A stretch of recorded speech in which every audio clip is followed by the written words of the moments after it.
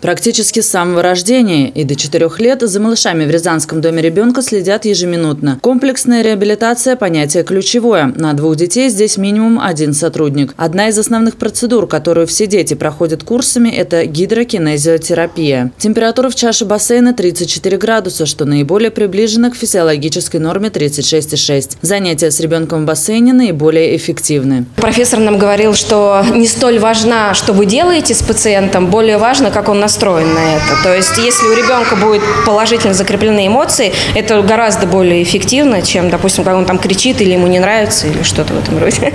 Расслабление мышц, облегчение движений в совокупности с другими видами реабилитации дает возможность перебороть многие диагнозы. ДЦП. ДЦП очень, прям, очень хорошо идет. Вот э, бассейн. Также э, это какие-то генетические аномалии, то есть тот же самый там синдром Дауна. Прекрасно. И вот у нас не так давно был ребенок Синдрома Марфана, то есть это такая патология, при которых, э, скажем так, дисплазия соединительной ткани, если там, говоря простым языком, э, суставы не держались вообще. То есть ребенок осевую нагрузку на суше не переносил. То есть он вот, ну, если можно так сказать, конечно, складывался, вот как у него получалось, а в воде он прекрасно ходил. То есть, и, ну, если можно так сказать, прям буквально с прямой спиной.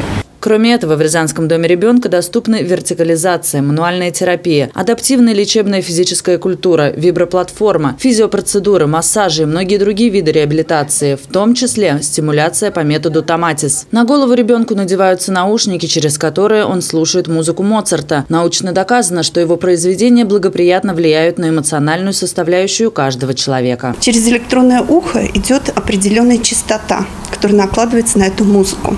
И, конечно, идет корректировка двигательной активности, мелкой моторики, эмоций и всего остального. Если у ребенка задержка речевого развития, то, конечно, с помощью стимуляции по методу Томатис мы можем скорректировать какие-то определенные функции. По методу Томатис для каждого ребенка составляется отдельная программа, которая совершает нейросенсорную стимуляцию, воздействующую на мозг. Уже через несколько сеансов у ребенка можно заметить реальные изменения в лучшую сторону, как и при других видах реабилитации. Именно благодаря слаженной работе коллектива Дома ребенка и большому количеству самого современного оборудования малыши со временем временем обретают свой новый дом или возвращаются в родную семью. Я считаю, что очень радостный показатель в нашем доме ребенка, что у нас второй год подряд дети не уходят в другие интернатные учреждения. Конечно, эффективная реабилитация здесь, она действительно эффективная, она междисциплинарная.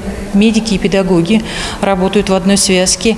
И лечебные методы реабилитации, они всегда сопровождаются достаточно активной э, психологической, социальной и э, педагогической реабилитацией. Несмотря на то, что устройством детей в новой семьи занимаются органы опеки, Рязанский дом ребенка оказывает консультативную помощь на этапе усыновления. Будущим родителям дается полная информация о состоянии здоровья и психических особенностях ребенка. Впоследствии сотрудники учреждения наблюдают за становлением контакта, эмоциональных и психических привязанностей ребенка и будущих кандидатов. Здесь даются советы и рекомендации. Так что, когда ребенок уходит в семью, родители хорошо ориентированы в том, что им необходимо сделать для того, чтобы здоровье ребенка со временем только улучшалось. Вы знаете, в некоторых случаях мы даже сопровождаем семью после того, как уже ребенок ушел в приемную семью, опять же, э, для продолжения реабилитационных мероприятий, которые уже ребенок получал у нас.